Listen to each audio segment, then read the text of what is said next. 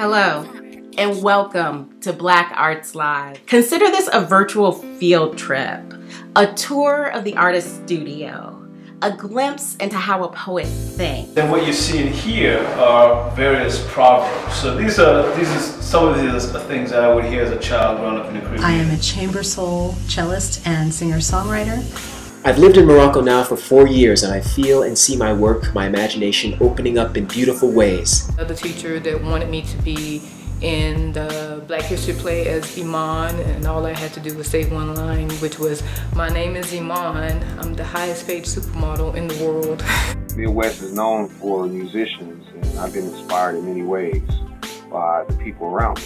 My mother and father are Jamaican and Nigerian. This has continued to influence who I am and the type of art that I make.